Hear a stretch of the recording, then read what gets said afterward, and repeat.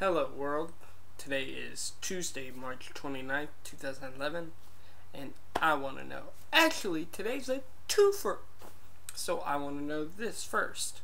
If I were a boy, no but seriously, it's if I were a girl, nah, but actually those two songs are, actually one is a song and one's kind of a parody of a song by Dave Days. Of course, it's If I Were a Boy by Beyonce and remixed or covered and remixed by Dave Days with If I Were a Girl.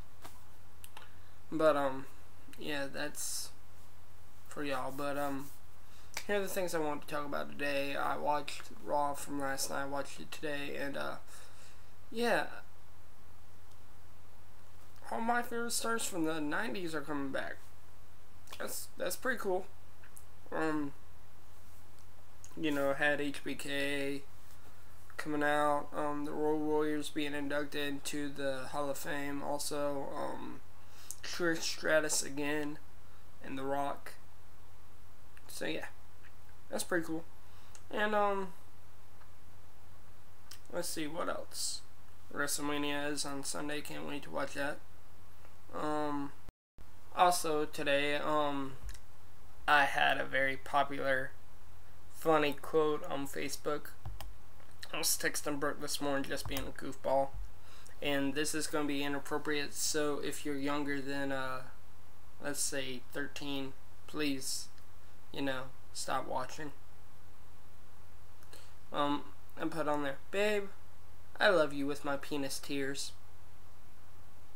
Just let that sink in for a second if you don't know what that is. But yeah. That's what I said and a bunch of people like that they thought was funny. I thought was hilarious. Mama Bear, I'm sorry if you got a little bit offended. I didn't mean to offend you. You know I love you. Mwah. But yeah.